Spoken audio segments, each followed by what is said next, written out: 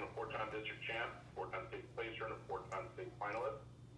Angel Rios just recently being recognized as the number 30, 152 pound senior wrestler by Wrestling USA magazine.